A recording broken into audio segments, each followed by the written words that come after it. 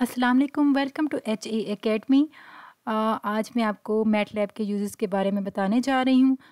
दरअसल मैं mat lab पर एक लेक्चर सीरीज़ स्टार्ट करने जा रही हूँ, जहाँ पे मैं आपको बेसिक से एडवांस लेवल तक आपको इसके बारे में बताऊँगी प्रैक्टिकल करके भी दिखाऊँगी।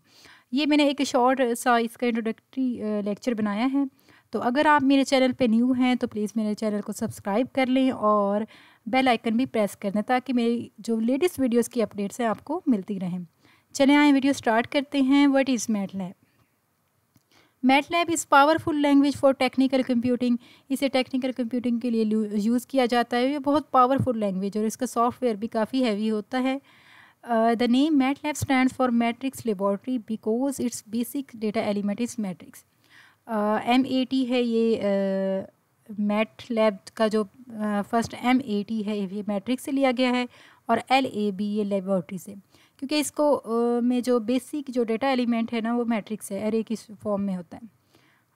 MATLAB can be use for math computation, math के कंप्यूटेशन के लिए यूज़ होता है, जैसे कि मैट्रिक्स को मल्टीप्लाई करना होता है, या फिर हमारे जो होती है ना ओडीज़ और पीडीज़ इनको सॉल्व करने के लिए न्यूमेरिकल मेथड्स होते हैं, जिनमें आइट्रेशन बहुत ज़्यादा होती हैं, जो कि मैनुअली हम नहीं कर सकते।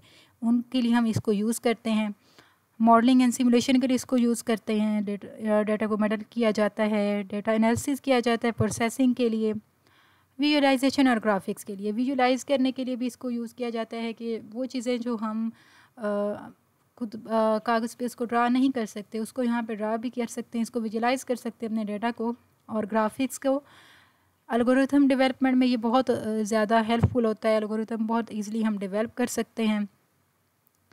Uses of MATLAB in educational institute specially in engineering MATLAB को एजुकेशनल इंस्टीट्यूट्स में बहुत ज़्यादा यूज़ किया जा रहा है। इसको एज आ इंट्रोडक्टरी कोर्स के तौर पर और एडवांस कोर्स के तौर पर भी इसको एजुकेशनल इंस्टीट्यूट्स में पढ़ाया जाता है। जैसे कि मास्टर्स इन मैथमेटिक्स में इसको एज आ इंट्रोडक्टरी लेवल पे इसको पढ़ाया जाता है। क्योंकि मैथ की बहुत सारी कॉम्पिटिशन्स और ये बहुत ज़्यादा यूज़ होता है तो स्टूडेंट को इससे फेमिलियर होना चाहिए। इंजीनियरिंग में इसका बहुत ज़्यादा यूज़ है।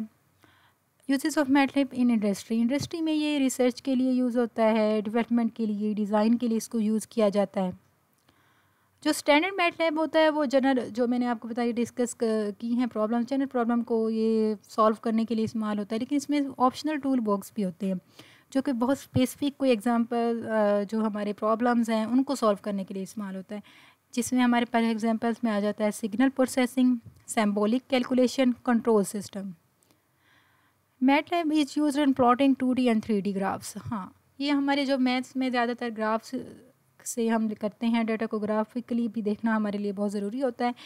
तो ग्राफिकली हम टू तक तो हम उसे पेपर पे कर सकते हैं, लेकिन हमें थ्री डी पे जाना है। इससे मज़ीद आगे हमने इसको डायमेंशन में देखना है तो हम वो खुद नहीं कर सकते ना जो पेपर पे हम नहीं कर सकते। उसको हम इसको प्लॉट कर सकते हैं। मैं आगे आपको बताऊँगी कि डाटा को इस तरह से हम किस तरह हम डाटा दे के इसकी प्लॉटिंग कर सकते हैं। इसके लिए बहुत सारी कमांड्स अवेलेबल हैं और बहुत ईज़िली से हमारा जो डाटा है ना, वो प्लॉट हो जाएगा और हमें ग्राफ्स मिल जाएँगे।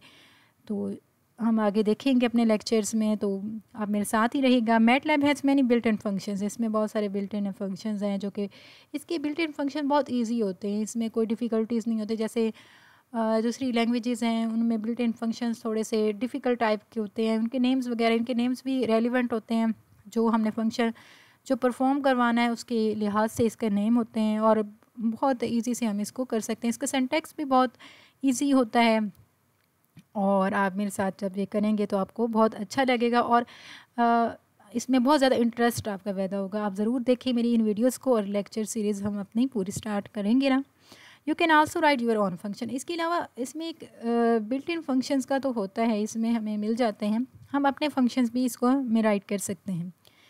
MATLAB is also use emerging field data science data science में ये बहुत ज़्यादा यूज़ हो रही है क्योंकि हमें डेटा साइंस में अलगोरिदम की इम्प्लीमेंटेशन को देखते हैं और उसमें ये मैट लैब बहुत ज़्यादा यूज़ होता है। क्योंकि ये वाला लेक्चर मैं एज आ इंट्रोडक्टरी रख रही हूँ। मैट लैब का यूज़ डेटा साइंस में बहुत ज़्यादा है इस पर एक अलग वीडियो बन सकती है। सो so, हम अपना ये एक छोटा सा इसका इंट्रोडक्शन था। मैट लैब के बारे में नेक्स्ट वीडियोस में मैं आपको बताऊँगी मैट लैब के कौन कौन से उसमें ऑप्शंस हैं, उसके टैब्स कौन कौन से हैं, उसकी जो फ़ंक्शंस कौन कौन से हैं, उसमें हमारे पास कमांड विंडो होती है, जो हमारे पास एडिटर विंडो है, वो सारे फ़ंक्शंस वगैरह मैं आपको नेक्स्ट वीडियोस में बताऊँगी। तो आप जल्दी से मेरा चैनल सब्सक्राइब कर लें और बेल आइकन भी प्रेस कर लें। Thanks for watching